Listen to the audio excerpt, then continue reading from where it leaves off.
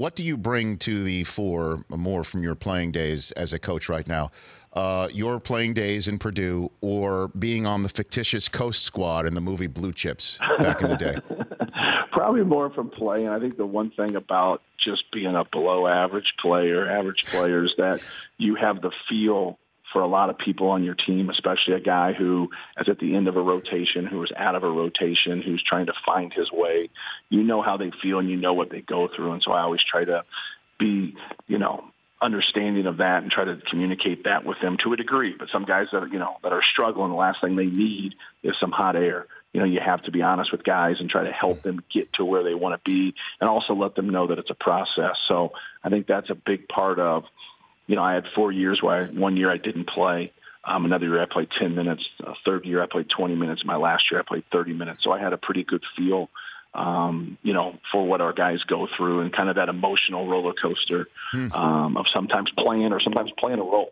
And I think that's what our guys have done, especially our freshmen. They've done a good job of playing roles, and they know that their value they bring to the team is going to be in short spurts, um, but it's still important. There were no pickup games on the set of Blue Chips? Matt? There was.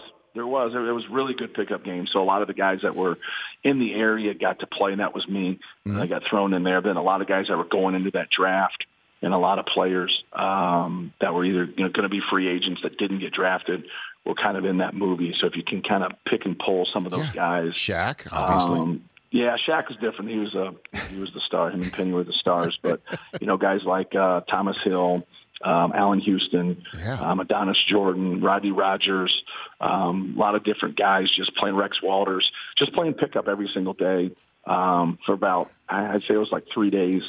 Um, but it was pretty cool. It was pretty cool to get uh, a couple of pickup games, $150 a day. There you go. Eat, eat right. a couple times. You're 22 years old, throwing in a couple meals. Uh, that's pretty beneficial. Well, if Allan Houston got you in that game uh, in Blue Chips, uh, you certainly got him back last night with Carson Edwards and. Uh, oh yeah, I forgot. See, Allan Houston is, is, is my age, and so we played AAU against his teams, and we played in Indiana Kentucky All Stars against him, and so um, he was great, man. He was a great guy. He was a great player, and um, so, but I, I, didn't think along those lines of, of him playing. That's my job. Hey, look, you're on to Virginia already. It's my job to you, you know to connect these lines.